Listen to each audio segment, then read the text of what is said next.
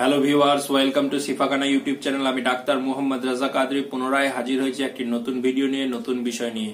আজকে আমি এই ভিডিওটিতে যে বিষয় নিয়ে আলোচনা করব তা হচ্ছে অনিদ্রা স্লিপলেসনেস ইনসোমেনিয়ার কার্যকরী হোমিওপ্যাথি এবং বায়োকেমিক ওষুধ নিয়ে। তাই ভিডিওটি প্রথম থেকে শেষ পর্যন্ত দেখুন।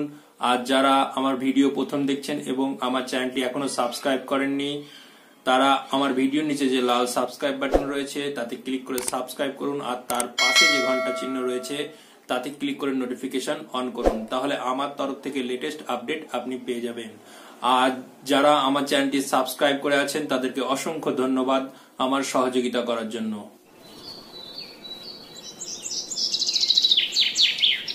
দর্শক মন্ডলী অনিদ্রা বা স্লিপলেসনেস বা ইনসোমনিয়ার নানা কারণ রয়েছে। এই অনিদ্রাকে দুই ভাগে বিভক্ত করা হয়। এক- একটি হচ্ছে অ্যাকুইট ইনসোমেনিয়া আর অপরটি হচ্ছে ক্রনিক ইনসোমেনিয়া প্রথমেই জেনে অ্যাকুইট ইনসোমেনিয়া বা নতুন অনিদ্রা রোগের কারণ সম্বন্ধে। অ্যাকুইট ইনসোমেনিয়া বা নতুন অনিদ্রা রোগের যে কারণ তা হচ্ছে অতিরিক্ত মানসিক চাপ, কাজের চাপ, ঘুমের অভ্যাসের পরিবর্তন অর্থাৎ যে সময়ে আপনি ঘুমাতেন সেই সময়ে না ঘুমিয়ে অন্য সময় ঘুমানোর ব্যবস্থা করা, অন্য জায়গায় ঘুমানোর ব্যবস্থা করা, এই ধরনের কারণেও অনিদ্রা হয়ে থাকে। অত্যাধিক চিন্তা, হঠাৎ বিপদ আপদ হওয়ার ফলে, মানসিক আঘাতের ফলেও অ্যাকুইট ইনসোমোনিয়া বা নতুন অনিদ্রা রোগটি হয়ে থাকে। ক্রনিক ইনসোমিনিয়া বা পুরাতন অনিদ্রা যে সমস্ত কারণগুলি রয়েছে তা হচ্ছে বাত, ব্যথা, সাইটিকা এ সমস্ত রোগের কারণেও অনিদ্রা হয়।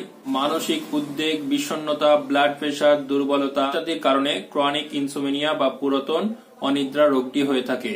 প্রিয় বন্ধুরা এবারে জেনে অনিদ্রা হলে কি কি লক্ষণ দেখা যাবে সে সম্বন্ধে।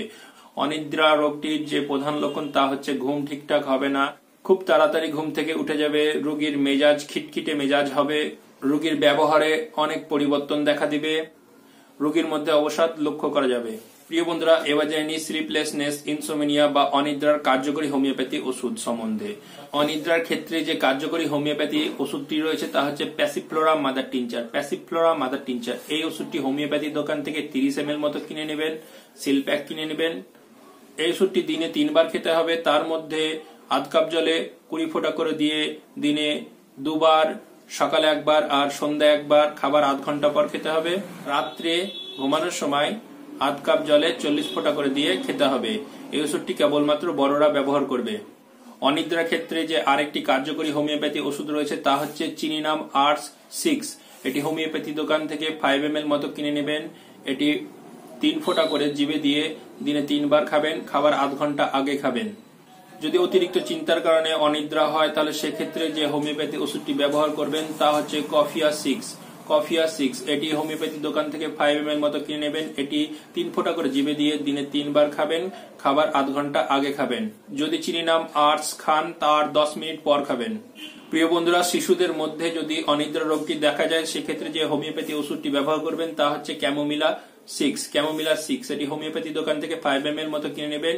এটি এক চামচ জলে এক ফোঁটা করে দিয়ে শিশুদেরকে দিনে তিনবার দিবেন, খাবার আধ ঘণ্টা আগে দিবেন।